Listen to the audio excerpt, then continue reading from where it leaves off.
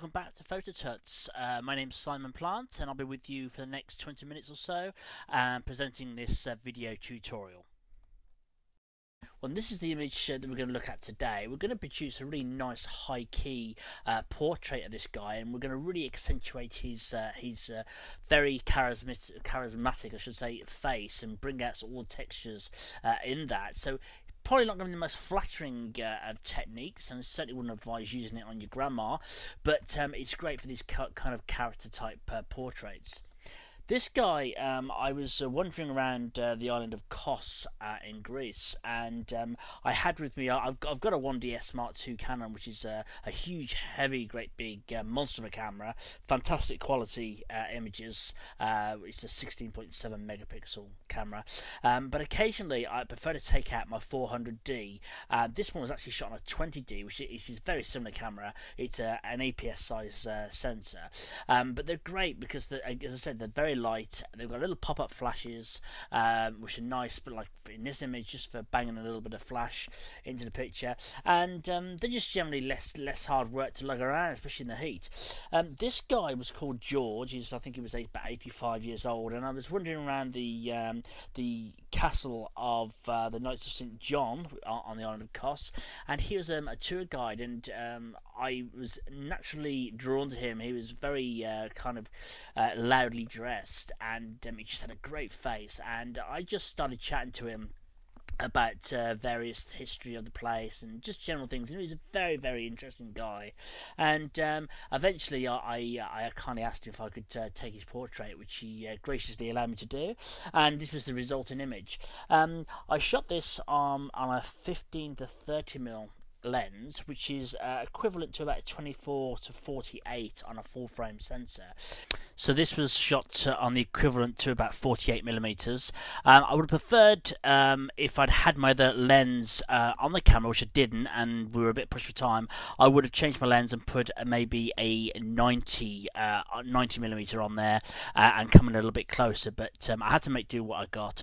Um, but this is the resulting image. Um, we banged a little bit of flash into uh, into him as well. As you can see the catch lights uh, in the uh, eyes there, and um, the the actual lighting for this was obviously available light. Uh, it was a very very bright, sunny Mediterranean type day, and uh, he was sat in a shade. Uh, lots of marble um, in the background and on the floor, reflecting light back in. So it was a really nice, flatly flatly lit image, and that's really helpful if you want to try and do any of these high key type images, it helps to have nice, even, diffused lighting on the subject. It doesn't really work when you've got bright sunlight, uh, you know, draping across uh, people's faces, uh, etc. So you certainly want them in a nice, evenly lit uh, uh, area.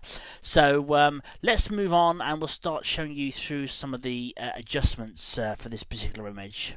So I'm working in uh, Adobe Photoshop CS3, and we're in uh, obviously Camera Raw the, on the bridge at the moment. And uh, what we want to do is really just um, brighten this image. Um, we don't want to start clipping any highlights or anything, but uh, we want to try and get it in a ballpark uh, of what I'm looking for. I don't want to do my final adjustments in Camera Raw. I normally take my images into Photoshop slightly flat, um, so I want to leave a little bit of headroom for further adjustments within Photoshop. But we want to get it processed as far as we can uh, in Camera Raw. So first thing I'm going to do is uh, we'll hold down the Alt key, and I want to just uh, drag the exposure slider up until we start seeing a little bit of clipping in the highlights. And there we go. That's a, bit, a little bit too fast. We just drag it back now, and obviously by holding the Alt key down, we get a nice preview of what's going on. And as I said, I don't want to be clipping anything, so let's leave it about there. Um, recovery, we won't need to worry about that. I don't think there's nothing really to recover because we've not overexposed anything. Um, brightness, we could have a little play with that. As I said, don't want to take it into Photoshop too bright. I just want to leave a little bit more room for adjustments. Uh, contrast, we can bring the contrast up a little bit, but again, don't get too far. somewhere around there. Clarity, I want to pump this up quite a way. Uh, clarity is like um, like a micro contrast uh, adjustment, and um, that's really what we want. We want nice lots of uh, textures to be brought out within the skin here, and already by just sliding this clarity slider like so, you can see that's having quite an effect on the gentleman's face there. Again, won't overdo it. So we do. We're also going to bring out um, all the textures in uh, George's uh, rather loud zoot suit and uh, his uh, stripy shirt here, and that is going to cause quite a lot of uh, distraction when we view the image, uh, and we don't want that. We want to c- maintain the attention on his face here, and not his rather loud and slightly dirty, I have to say, suit. So keep an eye on that. We've got to think about all these other areas. So I'm just going to bring the clarity up, uh, probably to about there, about 50, I think. I don't want to go any further than that. Uh, vibrance, uh, I'm going to leave that. Um, again, it's probably going to be quite desaturated. This, but we'll leave it. We'll leave it about 25 there. Saturation. We'll bring it up a little bit. We can always knock it back down again. Um, next, uh, thing is um, here uh, sharpening. I don't apply any sharpening in uh, Camera Raw, um, only for the preview. Uh, noise reduction, uh, we'll bring that up a little bit to about five. Uh, there may well be. I shot this on I think about 100 ISOs. There shouldn't be a lot of noise, but being on an APS size sensor, I'm not used to always working on many images from from that, and it will have a little bit more noise than I'm used to. So we'll bring that in a little bit. Um, Next thing, right, the hue and saturations. We can have a little play around with this. I want to uh, perhaps adjust the skin tones a little bit. So we'll get the hue for the reds, and again, there's no direct settings for this. We're just going to have a little play around. If we bring it too far, you can see his nose is uh, rather blossomed. So uh, keep an eye on that. So we don't want to go too mad with these color settings, um, hue settings for the colors. Uh, we just want to get a nice skin tone. Um, now, I want to keep him quite nice and warm and weathered um, because he is a, a native to uh, Greece and uh, in the sun a lot. Lucky fellow. Uh, we don't get much sun in England, as you probably already know. Um, so, again, with the yellows, just have a little play around. That's going a bit too far. So around there looks good. Um, that's all we need to worry about there. Um, saturation, um, you can have a little play around with that. Again, I don't want it uh, going too mad. So what I'm saying is basically is go in and just have a bit of play with the images with these settings and make sure you don't go too mad unless you want something really wacky. Uh, luminance again, don't need to worry about that. Next one is um, split toning and shadow. Don't need to worry about that. Uh, lens correction, I'll correct all edges. Uh, won't worry about lens vignetting here, and that's about it. So once you've done that, just click done. Right, our image is now open in Photoshop. We're going to start by duplicating the background layer, right clicking and convert to smart object. Um, with a lot of these settings uh, in a lot of my images anyway, and I'm sure other people are not different, um, we tend to have to come back and readjust certain settings as we progress through the image. So you need to leave yourself plenty of opportunity and flexibility to do that. Um, now if that's converted to a smart object, I'll rename it first of all um, if I can just do that, um, shadow highlight. And um, I want to add a, a, layer mask eventually, but what we'll do, we just go uh, uh, go into the adjustment, go to image adjustments, shadow highlight, and eventually what I'm going to do in a minute is make a mask. So this is just going to affect his face. So don't worry about the rest of the the jacket and the shirt in the background. So what I want to do is just start bringing out some textures in George's face. So first of all, we're going to go to shadows. I'm going to drop the shadow adjustment down slightly and bring up the tonal width and have a look at what that does. And we can bring that down here now to about 20 and radius again just have a little play around with the settings there see what works best doesn't seem to be making a lot of difference. So we'll leave that as it is. Highlights again. Um, don't want it to go too dark. So we'll leave his face for about 13 40%.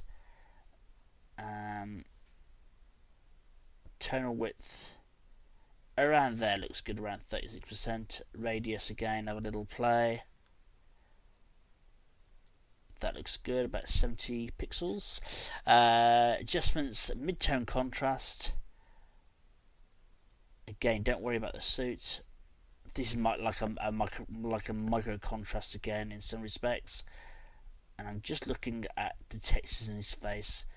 So there looks good. I'm not sure color correction is going to make a lot of difference but we'll leave it about 20%. Click OK. Just wait for the process. Okay, that's before, that's after.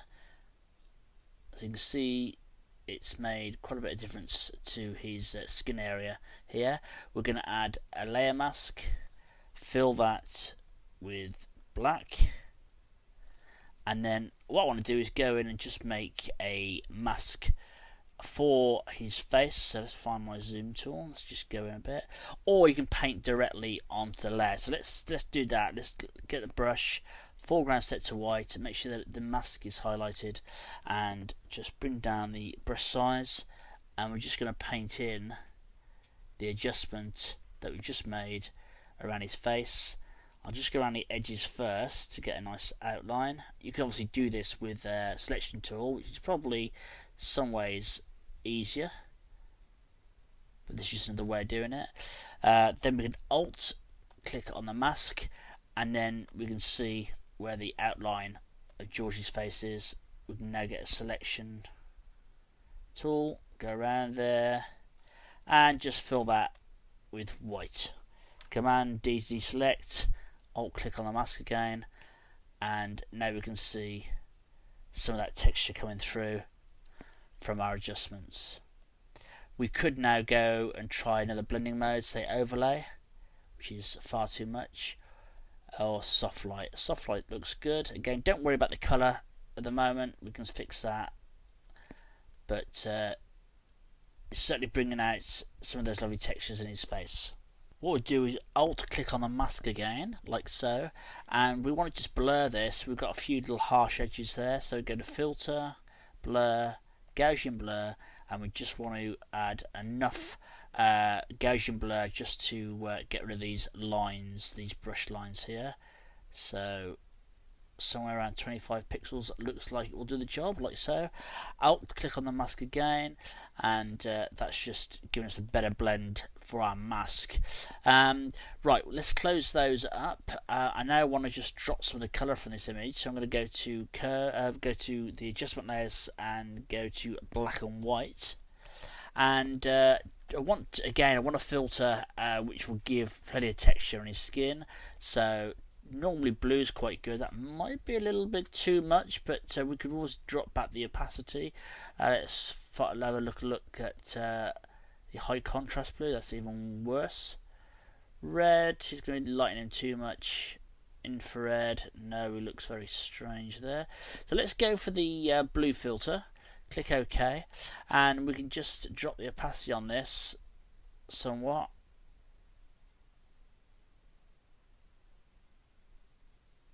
and that is bringing out quite a bit more texture in his face and also dropping the colour down quite a bit. I don't dislike that.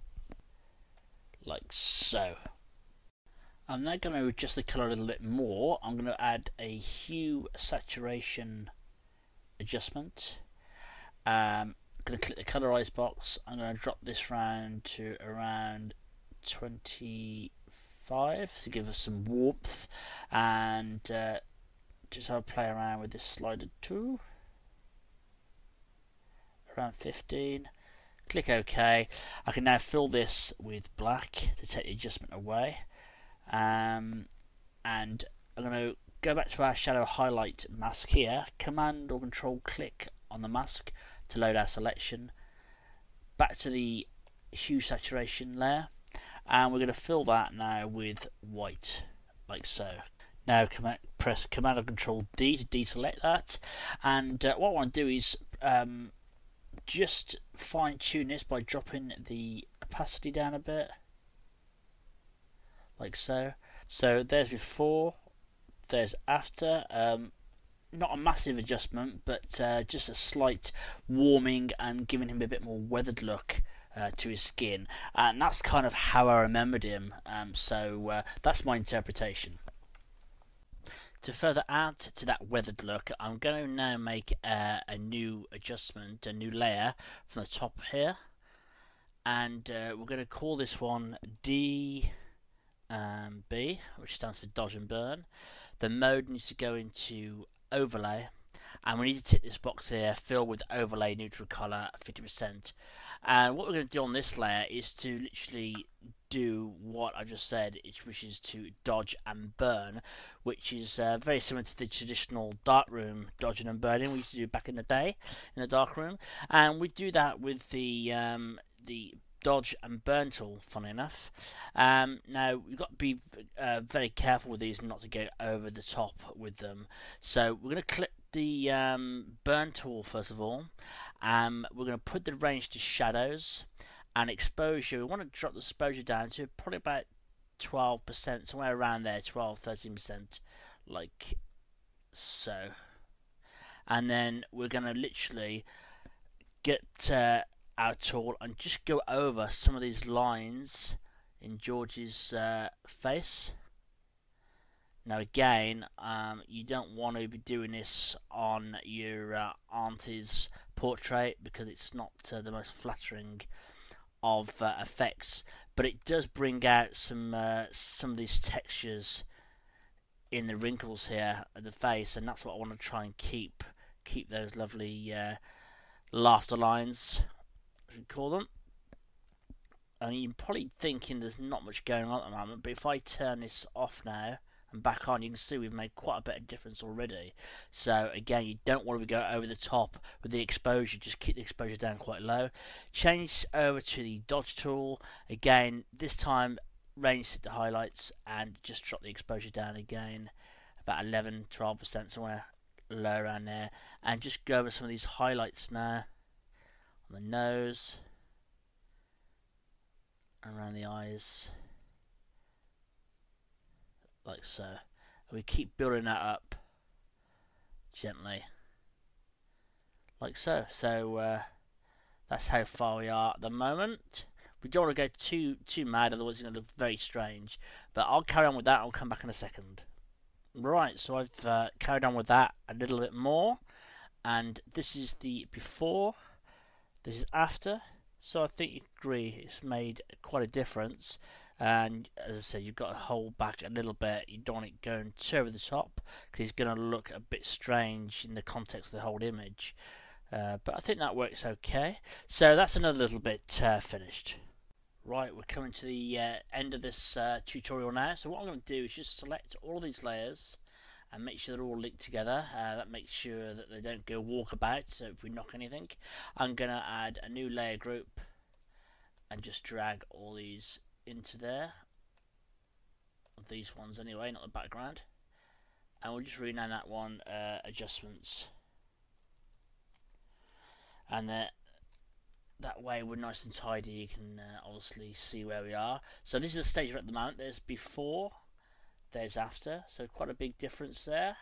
Um, what I'm going to do now is to make uh, an empty layer hold down the Alt key and we want to go to layers uh, here, layers palette, to merge visible, but we hold down the Alt key when we do that. And what that does is uh, it will combine all these visible uh, adjustments and layers here into a single layer.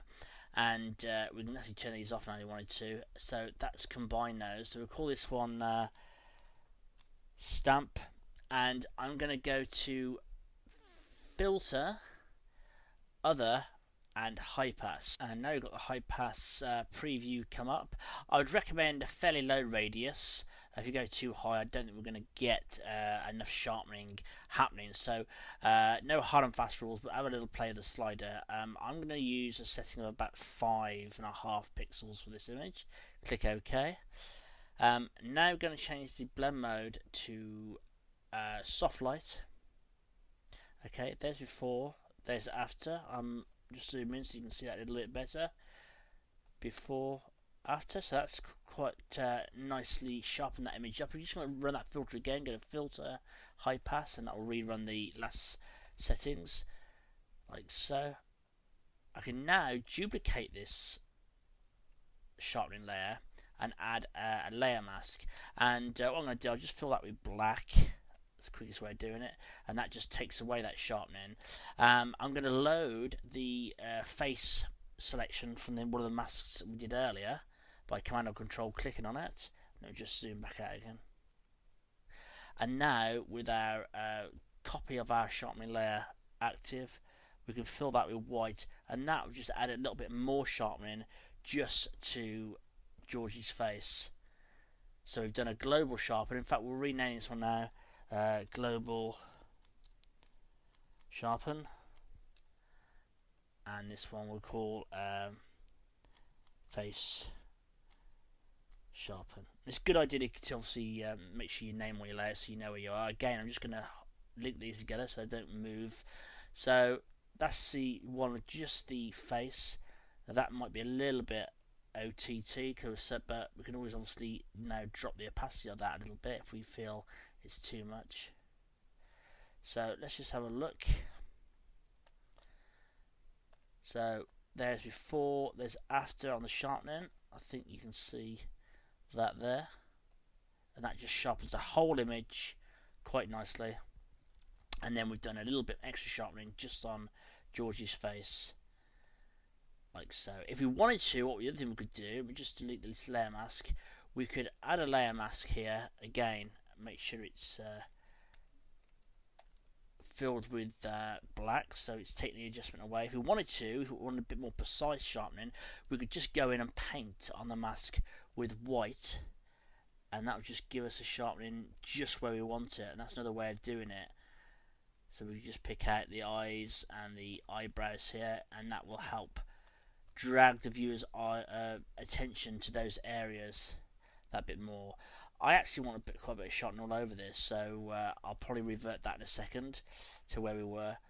And that is uh, pretty much near enough finished. One last thing I've done is just to add a, a layer group to the sharpening uh, layers we've just done, so they're nice and tidy. And to finish off, I've, I've added a levels adjustment layer on top of the stack here. And the reason I do that is I like to hold down the Alt key and just check things blowing out or clipping. So if you hold down the Alt key and just click on the highlights here, you can see if anything's going clipping out to pure white. So we can just, I want this fairly high key, so we can bring it up a little bit. You want a little bit coming through, so you get some nice uh, clean highlights, but we don't want it going pure white and uh, looking overexposed. Same for the shadow end. I don't really want any heavy shadows in this particularly, so that's fine as it is. So that just assures you're not uh, clipping or blocking up the shadows. So there's before, there's after. My very final act is to save this as a PSD file, uh, which I've just done, and now I'm going to flatten it and then crop it. So that's now flattened. I'm going to get my crop tool, and I think this bit of space at the top here is really just wasted. So I'm going to crop him a little bit tighter, probably a little bit there. That should do us and that just gives us a just nicer composition uh, for the image. So there we have it. There's George. If you uh, if you find yourself traveling around the islands of Greece and you get a Kos and you happen to go into the uh, the castle there uh, keep an eye out for George. I'm, I'm not sure if he's still about. He was obviously knocking on a little bit but uh, obviously in very good health. Um, and uh, you might just see him giving somebody a guided tour. Anyway thanks for watching and uh, hopefully I'll catch you on the next one. Cheers